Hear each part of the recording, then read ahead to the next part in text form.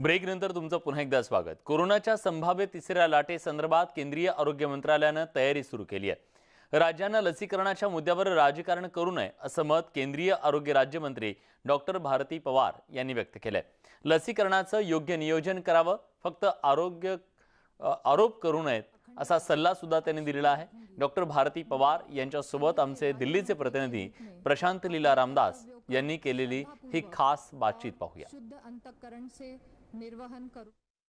Doctor Bharti Pawar यांनी आज केंद्रीय आरोग्य राज्यमंत्रीपदाचा पदभार घेतलेला आहे. त्याची थेट चर्चा करूया. आपलं स्वागत आहे न्यूज एटीन लोकमतमध्ये. आज आपण पदभार घेतला अधिकाऱ्यांची ब्रीफिंग झाली. काय वाटते काय परिस्थिती आहे देशात कोरोनाची? सगळ्यात महत्त्वाची जबाबदारी आज आरोग्याची असताना.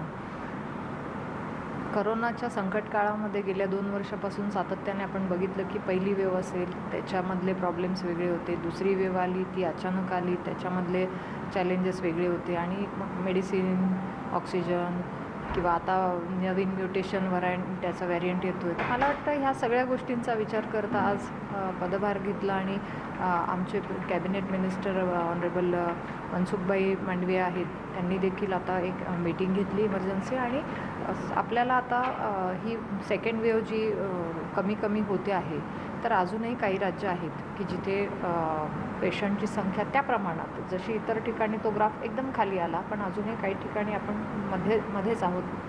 त्याच्यामध्ये महाराष्ट्र देखील आहे आणि केरळ असेल. मला वाटतं ह्या याच्यावर त्या राज्यांकडे विशेष लक्ष देऊन तिथले कारणं आणि अजूनही काळजी घेतली जात नाही आहे का? तर मला वाटतं ते महत्त्वाचं आहे.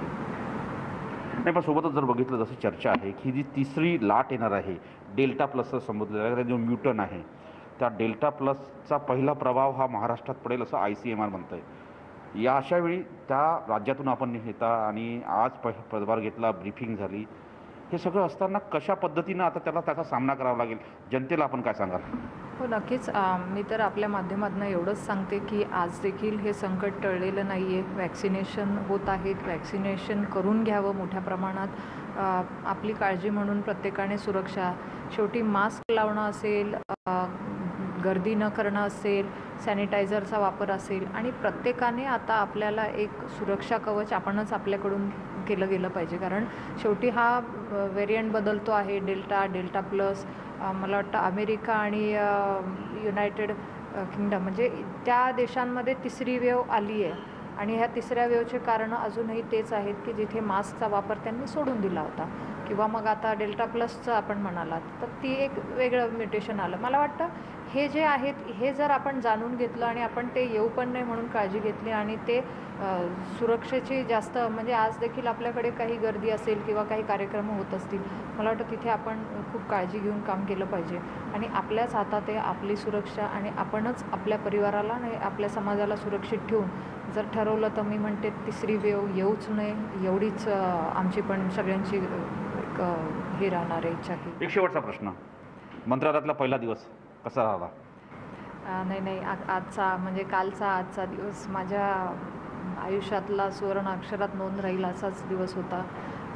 खूप महत्त्वाची जबाबदारी दिली आहे आणि करोना संकट काळामध्ये आरोग्य विभागाची जबाबदारी आपण बघत की रोज रोज काही ना काही आपल्याला अपडेट येत असतात. ह्या राज्यात काय किंवा हे वेरियंट काय किंवा हे मेडिसिन रोज वेगवेगळे. हे तर मला वाटतं मी एक डॉक्टर म्हणून सगळ्यात आधी तर मी आभारही मानेल आदरणीय मोदीजींचे. आणि नक्कीच नुसतं महाराष्ट्राची कन्या म्हणून नाही तर माझी जबाबदारी ही सगळ्यांच्याच आरोग्याविषयाची सगळ्यांनाच चांगलं सुरक्षित ठेवण्याची जी आमची संकल्पना आहे त्यानुसार नक्कीच आमच्याकडून प्रयत्न होतील. पुण्यामध्ये डॉक्टर भारती पवार केंद्रीय राज्यमंत्री आरोग्य खात्याच्या आहेत त्यांनी स्पष्ट म्हटलं आहे की तिसरी लाट तर थांबवायची असेल तर सगळ्यांनी लसीकरण करा आणि लसीकरणाच्या मुद्द्यावर कोणीच राजकारण करू नका. नवी दिल्लीहून व्हिडिओ जर्नलिस्ट रमाशंकरसह प्रशांत रामदास न्यूज एटीन लोकमत. कोरोनाच्या काळात काम करणाऱ्या केईएम रुग्णालयातल्या आरोग्य कर्मचाऱ्यांना सुविधा मिळाव्यात अशी मागणी करण्यात आली आहे. थकीत भत्ते अनुकंपा तत्वावर कोरोनामध्ये जीव गमावलेल्यांच्या कुटुंबातील वारसांना नोकरी मिळावी या उद्देशानं मनसेनं केईएमच्या डीनसोबत चर्चा केली. पाहूया आमच्या प्रतिनिधी सुष्मिता भदाणे पाटील यांनी साधलेला हा संवाद. संदीप देशपांडे यांनी आत्ताच काही वेळापूर्वी के एमचे डीन हेमंत देशमुख यांची भेट घेतलेली आहे. सर काय नेमकं चर्चेमध्ये निष्पन्न झालं? काय महत्त्वाचे मुद्दे मांडण्यात आले? नाही गेल्या अनेक दिवसापासून अनेक समस्यांचा पाठपुरावा आमचे इथले युनियनचे सर्व पदाधिकारी करत होते.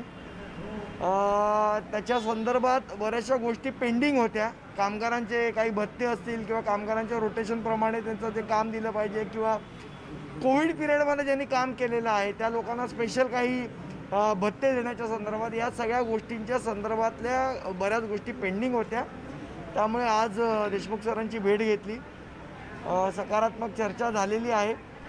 आणि आम्ही त्यांना विनंती केली की ज्या लोकांनी या पूर्ण कोविड आणि कोरोनाच्या काळामध्ये के एमसाठी मनापासनं काम केलेलं आहे त्यांची जी महत्त्वाची कामं पेंडिंग आहेत मग ते काही लोकांची पेन्शन्स आहेत काही लोकांचे रुटीन ट्रान्सफर जॉब्स आहेत त्या सगळ्या संदर्भात आज चर्चा झाली.